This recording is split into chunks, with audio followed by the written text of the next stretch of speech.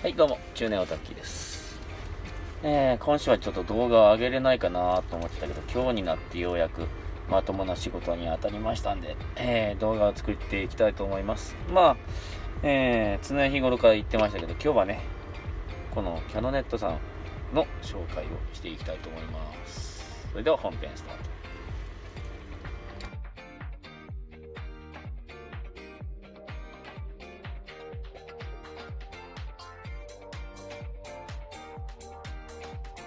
えーとね、えーキャノンといえば、えー今、世界最大の、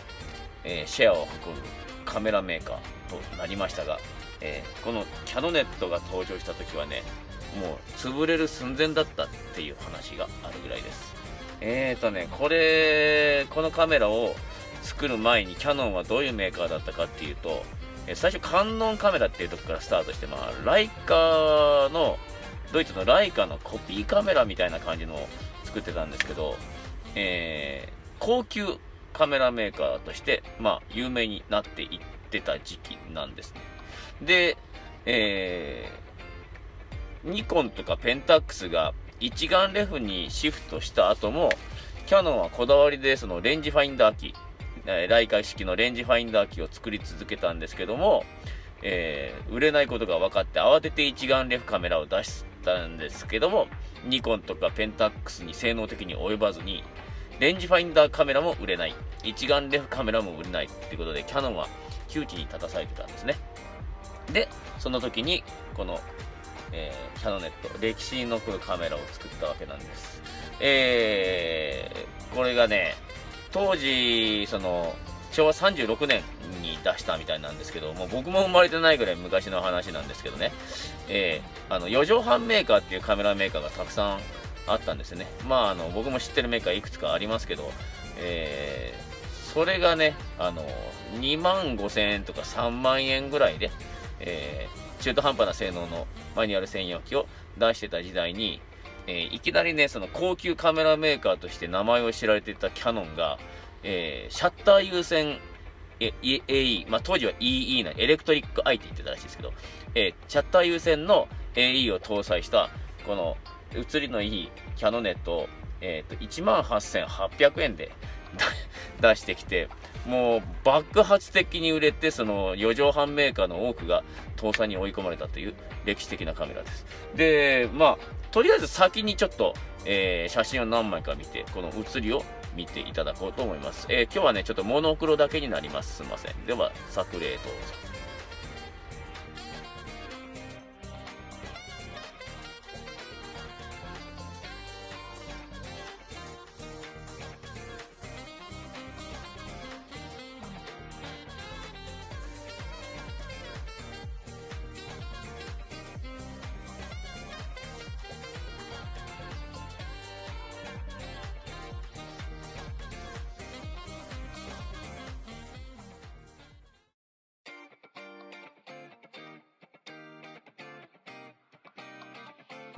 はい、えー、作例ちょっと何枚か見てもらいましたけど、これ実は全部ね、あの、EE、まあ、AE で撮ってます。シャッター優先 AE で撮ってます。で、それでね、適正度数が得られてるんですけど、これね、もう、あの、うん実機を見てもらったらわかるんですけど、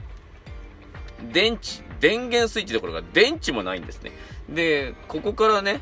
ここから入ってきた光で、あの、太陽光発電、えーセレン光、セレン光電池というので太陽光発電して、その電力を使って、えーあの、速攻するという方式です。ちょっとこれね、もう一度部品取り機を用意しました。こうなってます。えーとね、これが針です。これがね、光が当たることによってこの針が移動する。で、シャッター、あ、今切れちゃったけど。で、この針の位置で、光が当たるとね、電量が増えて、こう針がビューンって。この針の位置で絞り値を決定するんですね、このカメラ。で、あの、針が枠外だったら、あ、これ妹になってねえや。見えねえし。針が枠外だったら、シャッターが切れない構造になってるんですね。で、針が入ると、ほら、ね。うまいこと作ってあるんですよ、これ。で、驚きなのが、まあ、ちょっと作例を見てもらったら分かるんですけどね、あの、現代機にも通用するぐらい非常にシャープな写りしてます。で、このレンズがね、これなんです。これ。こんだけ。このへみたいなレンズでね、こんだけですよ。これが、ここにはまってるだけなんです。このへみたいなレンズでこんな、こんな綺麗に映るんですね。ちょっとびっくり。しかもね、これ 45mmF1.9 で非常に明るい、あのー、レンズになってます。で、まあ、このね、あのー、カメラ、えー、発売されて、えー、っと、発売日にその2週間分の在庫を用意したのが2時間で売り切れたという。あの猛烈に売れまくったカメラで、多分ね、えっ、ー、と、これ見てる人、どのぐらいの年代の方かわかんないんですけど、えー、まあ、60代、僕の視聴者60代、70代も結構、60代、70代の方なら、俺使ったことあるぞって言ってる人もいるだろうし、えっ、ー、と、若い人だったらね、おじいちゃんとかに聞いてもらったらね、結構な人がね、このカメラ知ってると思います。僕のはね、ちょっとあの、レアな、あの、これ、純正のィルターとかもついてますけど。で、あのー、今回モノクロしか撮ってないです。モノクロしか撮ってない理由っていうのは、あのー、この時代のキャノンのカメラ、レンズのコーティング的にね、モノクロがベストだと思います。えー、っとね、以前ちょっと紹介したあの、ミノルタの、えっと、ユニオマット。あれはね、あの、カラーで写真撮ったんですけど、カラーの評判が、写りがいいんでね、カラーで撮ったんですけど、キャノンはね、その、僕あの、キャノネットの QL17G3 っていうのを持ってるんですけど、これだいぶ後の4年ぐらい後のカメラなのかな？になるんですけど、えー、っと、それでもね、ちょっとカラーの色合い的にはちょっと黄緑がかった色になって、その、あんまり色は良くないんですね。で、えー、っとね、えー、FL レンズぐらいまでその傾向がちょっと残るのかな。僕はちょっと色目的にはあのわかんないですけど、僕、そのこの色色が見えたのは僕でもわかるぐらいちょっとカラーが不自然な発色をします。で、このカメラはあのモノクロがすごくいいです。で、今あの、まあ、撮る、もう今日、今はカメラ、そのフィルム入ってないですけど、あの、モノクロがすごい相性がいいんで、あの使うんだったらモノクロがおすすめです。フィルム装填もね、あの、普通とは逆向きだったり、ちょっとフィルムを装填するのにコツがいったりね。で、あの、巻き上げレバーがね、下につ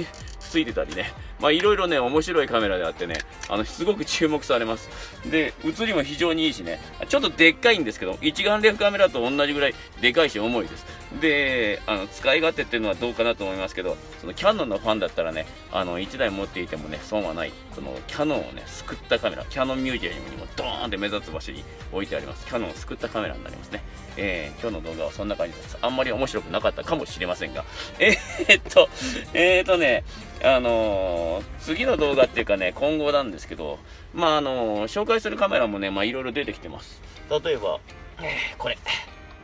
これがね、えー、ニコンの F、F601。これヤフオクでね、カメラ5台セットで、あのー、えっ、ー、と、なんだったかな。ミノルタのプラカメ2台と、えっ、ー、と、オリンパスのミュ。もうこれオリンパスのミュ。もうすでにフィルムが貼って入って撮ってますけど、えー、オリンパスのミュ、これイーンって出てきますね。えー、あとね、えー、っと、キャノンの、えー、イクシ 810IS っていうね、コンデジもついて、えー、5台セットで21 21円で落札して、で、送料が圧倒的に高くて、送料込みで1311円だったかな。で、こいつもね、ちゃんと動くんですよ。でね、あの、レンズカビてますって言ってたんですけど、フィルターがカビてただけでした。もうね、どんだけ得したかってね、うん、ちょっと、ちょっとあの、賑やかなレンズになりますけどね、えー、こういうカメラもね、紹介していこうとは思ってるんですけども、あの、要望にね、あのー、銀塩写真の、えっ、ー、と、作例をいっぱい紹介してくれ。ちょっとね、あの、なかなかね、時間、作例を上げていくのが実は時間かかるんですよ。で、インスタグラムとかにも上げていこうかなと思ってるんですけど、なかなかインスタグラムに上げる時間もなくて、えー、このね、あの、これ僕があの、この仕事場で使ってる、仕事場って言うとトラックですけど、仕事場で使ってるメインのパソコンになるんですけど、これビスタなんで OS がビスタなんで LINE が入んないんですよね。新しい、新しいパソコン変えようって、新しいパソコンはね、嫁が家で使ってるからって持ってくれないんですよ。で、ゴミ箱、ゴミ捨て場から拾ってきたやつを直してね、使ってるんですけど、LINE が入れれないんで、あの、写真のデータをね、携帯とかそのに送るのにいちいちメールで、で、僕はあの iPhone で編集してますから、ちょっと時間がかかるんでね、えー、どうしようかと思ってるんですけど、えー、っと、とりあえずその作例をいっぱい出してほしいっていう人がいて、それにいいねもついてたんで、えー、そのうちやろうと思ってます。近々やるかもしれません。えー、っとね、その、えー、っと、なんだっけ、ペンタックスのスポーツマチックの紹介もしたいですし、まあ、あの、作例をね、その技術的な話を交えながらするのも面白いかなと、まあ思ってるんですけど、僕の技術はね、大したことはないんですけど、そのプロカメラマンとかね、ハイアマチュアの方から言わせれば、なんだよっていう内容かもしんないんですけど、でもあのまあ、写真を始めたての人とか、それとか銀塩写真をやったことがないからどうすればいいかとか、そういう人にはもしかしたら参考になっていくかもしれないんで、えー、そういう動画もやっていこうかなと思ってます。えー、まあ、あのー、なんか、一時その、おき、ん？